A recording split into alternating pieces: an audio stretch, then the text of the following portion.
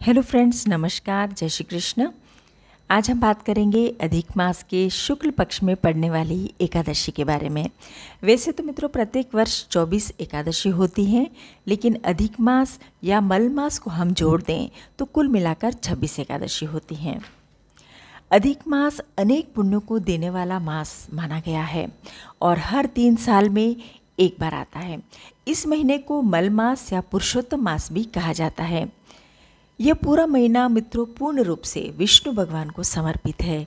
इस वर्ष अधिक मास 18 सितंबर से शुरू होकर 16 अक्टूबर तक रहेगा।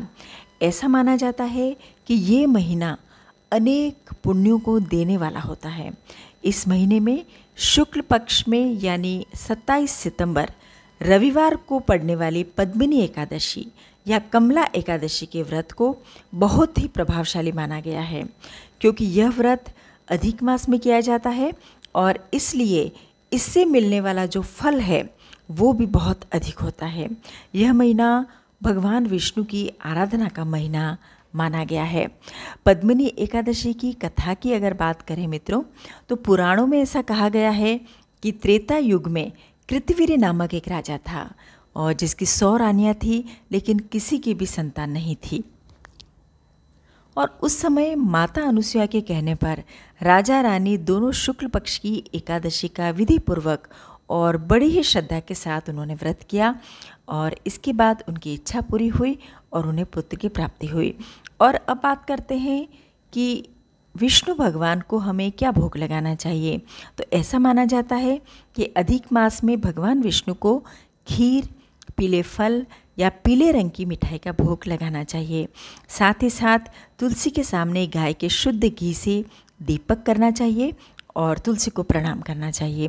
पौराणिक कथाओं के अनुसार भगवान विष्णु का वास पीपल के पेड़ में माना गया है और इस दिन पीपल को मीठा जल ज़रूर चढ़ाना चाहिए।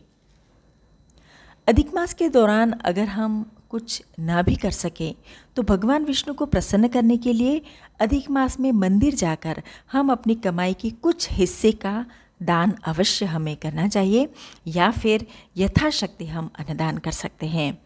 एकादशी के दिन अगर हम खाने की मित्रों बात करें तो इस दिन दूध, दही और फल का सेवन करना चाहिए। ऐसी मान्यता है कि इस दिन चाहे हम व्रत ना भी कर रहे हों तो भी हमें चावल खाने की मनाही होती है। तो हम कोशिश करें कि उस दिन हम चावल ना खाएँ और पूरी तरह से व्रत करें। तो मित्रों, मेरा ये वीडियो आपको कैसा लगा? आपको अच्छा लगा तो लाइक करें, शेयर करें, सब्सक्राइब करें। धन्यवाद। जय श्री कृष्ण।